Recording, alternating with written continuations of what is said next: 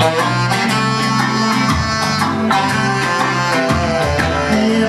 believe stepping and just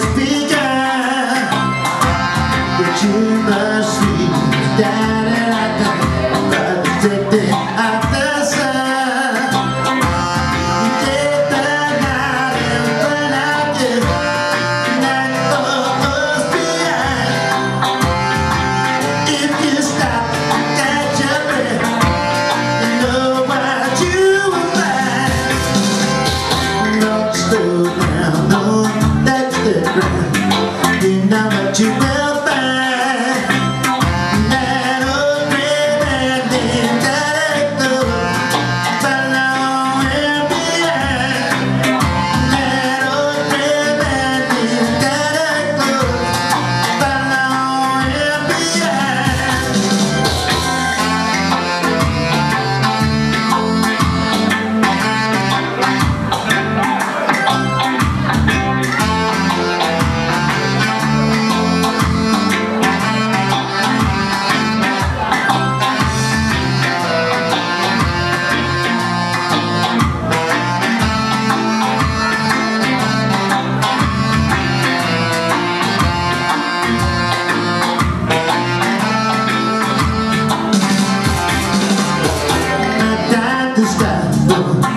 Gotta